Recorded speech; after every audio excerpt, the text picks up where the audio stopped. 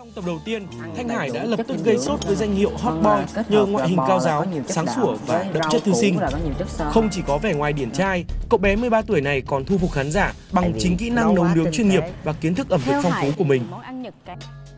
Trong tập 8 phát sóng ngày 20 tháng 11, Đức Hải đã tạo ra ấn tượng tốt với món cơm nghệ, lươn chiên giòn xả ớt, súp lươn hấp dẫn.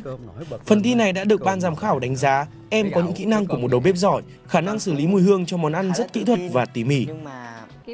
Ở trận chung kết, với thực đơn gồm cái vị gan ngỗng áp chảo, món chính cá hồi áp chảo, món tráng miệng, bánh panna cotta. Phần thi của Thanh Hải đã được đánh giá là hoàn hảo hơn thực đơn của Đức Hải. Em còn nhận được lời khen về cách gia giảm và chế biến độc đáo. Chú ý nè con Và người chiến thắng Quán quân của vua đầu bếp nhí Việt Nam mùa đầu tiên 2016 là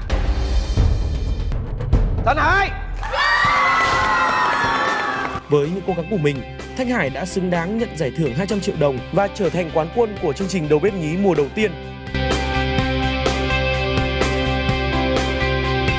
đối với con thì cái người quán quân này